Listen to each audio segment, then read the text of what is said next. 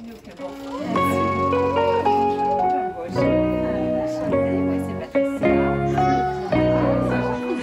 je vais vous mettre une petite feuille à très bien.